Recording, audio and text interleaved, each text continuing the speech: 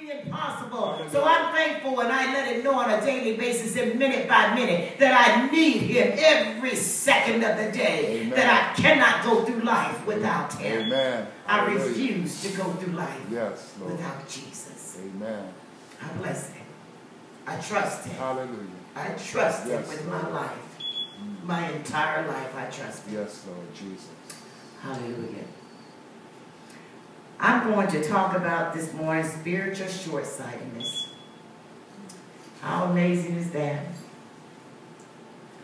I was thinking about some things that had occurred throughout the week. and in all of those situations I thought about, I said, you know what? The bottom line is spiritual short-sightedness. They cannot see beyond where they're at because they have been blinded. So I wanted to just give it that little title, just being spiritually short-sighted. It's not their fault. It really ain't. They just in a bad place. Then I had to think about, well, I've been in one of those places too. And then Roxy says she been in one, so I know y'all been in one. Hallelujah. Amen. And if you haven't been in one, keep living. It's on the way.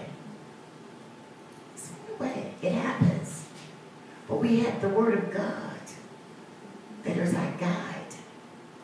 And He gives us He gives us direction. He gives us instruction. All we need to do is get in it. Read it. Let it get in your spirit. Let God write it on the tablets of your heart so that it's in there when the enemy comes, you'll have something that you can fight with and that you can conquer any short-sightedness that's before you that tries to keep you from getting to your destiny. Amen. And for the last month or so here, a couple of months, we've been talking about getting to our destiny and how the enemy comes in and he afflicts and he starts to, he starts with the family. Mm-hmm. If he can get in the home front, mm-hmm. Yeah. he's got some things he's getting ready to shake up and he'll disturb and he'll get you off track. Mm-hmm. But we have to recognize whose device it is and where this is coming from. So that we'll know how to fight it. And the only way we're going to be able to do that is by studying to show thyself approved, a workman who need not be ashamed, who can rightly Yes. divide God's word. Amen? Amen. Amen. Praise God. I'm going to ask, uh, I can get me a strong reader, if, uh, a strong reader, if I can get Genesis 25, 27 through 34. I need a loud, strong reader. Most people probably feel as though they're missing out on God's blessings. They'll look at people that are not in the Word of God, that's not walking upright, but they see them being blessed.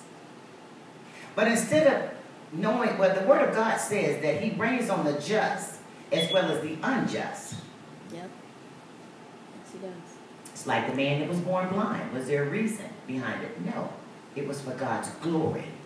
Does it mean that they're going to get in heaven because they are being blessed on this side? No. It's for God's glory. Because if God never blessed anyone, you would never know that you can have that or that you could get what they have. The difference is, is that the drug addicts, they've gotten the vision. They got the picture. They know how to go about and make money and make it multiply. We, on the other hand, we get a little change. The first thing we do is run to the Eastwood Mall, Southern Park Mall, and we're in the stores buying stuff that we don't need. But the one that's selling the drugs, they have it. So they've caught the vision just like the people in Hollywood. They're coming out with all of these movies because they have gotten the vision. But where we are, we're Christians, we're not even realizing that we're right now, this day, in Antichrist. Because we have really not studied the Word of God and to understand where we're at today. So yes, you miss out on God's blessings because you're not in the right place. It's not that God doesn't desire for you to have. He said, I wish that you would have life and that you would have it more abundantly. abundance. That's all. It's, it's unexplainable, the amount. That's a desire for us. On this side. On this side. We can experience heaven on this side. A little bit of heaven on this side. If you didn't have any difficult times, you would never know that God can bring you out. God causes some things to occur, just like he, did with Job. He gives the enemy permission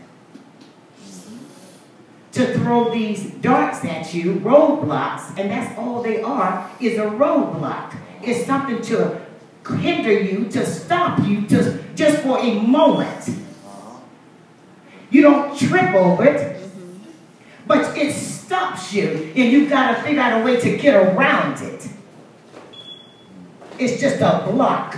It's not the whole road is blocked off. It's the part of the road where you're going right now is blocked off. But I've got to figure out now how I can get around what the enemy is set right there because it's not everywhere. But I've got to get fine tuned to God and ask him, how do I get around that stumbling block? Because that's all it is. It's there to trip you up, but not to stop you.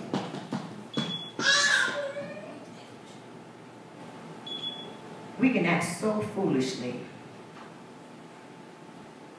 And what we're going through, those are the things that cause us to miss out. And when you're ignorant to the Word of God, or you have gotten blinders on that you've actually never been taught in a church what and how you're supposed to act. You can react foolishly. I've seen a lot of pastors that have been in churches and they, they've been called and they've gone through proper protocol and they, uh, they're still sitting up under their uh, pastor and never once, maybe once in a blue moon, they'll get up and they'll get the opportunity to preach. And then when somebody do finally hear them because they don't realize that they've only had one or two opportunities right there with their people. And then they send them off to another church and they get up. And I literally heard this story where this man went to one of the churches and he got up on the pastor's bench, stood up, out of order, out of order, acting foolishly. A lot of times even for our children in school, just because of peer pressure, and you see somebody else doing something, and it'll cause you to get out of your character and you begin to act foolishly. Not making a wise decision from what you were taught as a child. And most, some of the, the ones that have been brought up in the Lord, they know better. But because of peer pressure, the enemy gets in their mind and causes them to get off course, and then they begin, and it really changes what people think about you. It literally changes what they think about you. Then you got to basically like start over and get the slate clean so that you can go back and start all over. And that doesn't make a lot of sense.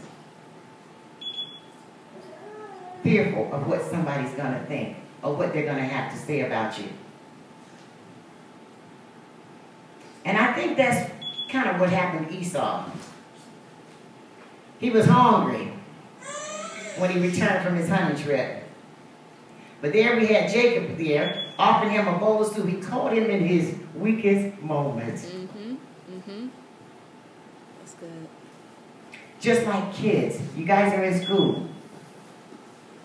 And just because you don't quite fit in and you you've been beat up almost all the way through the school year, and here you may have Bobby come over and Sally come over, and it's just leaning just a far, just a little bit, just a little bit, just to sway you just a little bit. And the next thing you know, you've gotten detoured off track and they caught you at your weakest moment because right then and there, they didn't. Re- now the devil know that you was feeling kind of down, that they caught you on the right day to come and bring the wrong stuff to you, and then you fall into the trap.